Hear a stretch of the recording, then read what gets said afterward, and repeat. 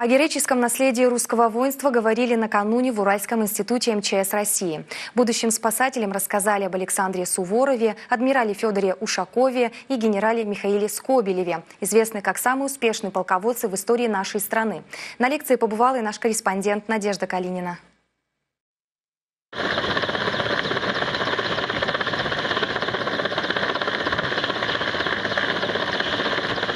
Обычный учебный процесс курсантов Института МЧС России во многом отличается от занятий студентов из других вузов. Но подготовка будущих спасателей требует умения работать и в огне, и на земле, и в воздухе. И главное здесь как полученные навыки, так и психологический и духовный настрой. Любая армия только и сильна тем, что у нее есть бесстрашные воины, которые не боятся смерти и готовы положить жизнь свою за други свои. Эти ребята в будущем собираются работать в пожарной охране, юноши бороться с огнем, а девушки следить за выполнением норм противопожарной безопасности. И то, что пожарный инспектор не выглядит столь уж героически, не беда, не это главное. Она тоже очень необходима, и от нее зависит много факторов. И это тоже очень значимо, потому что ну, так-то у нас много отраслей, где женщины работают. У меня папа работает в пожарной охране, наверное, с детства, насмотрясь на него как пример.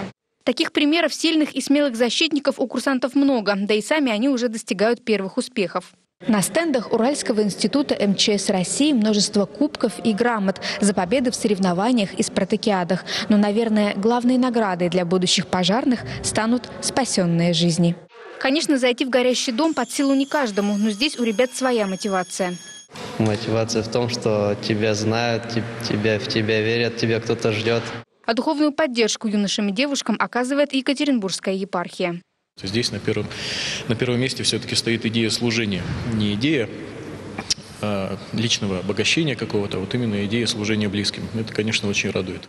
Совместно с духовенством ребята принимают участие в организации многих праздников. Одно из последних – обеспечение безопасности во время крещенских купаний. Но спасатели не только следят за порядком, они и сами соблюдают старинную традицию. Я первый раз купаюсь подошел, что-то холодновато было, но уже поздно, типа, сдаваться. Все нормально. Такие ощущения незабываемые. Будущие спасатели сильны духом и телом, и доказывать это им предстоит каждый день, спасая людей и предотвращая чрезвычайные ситуации.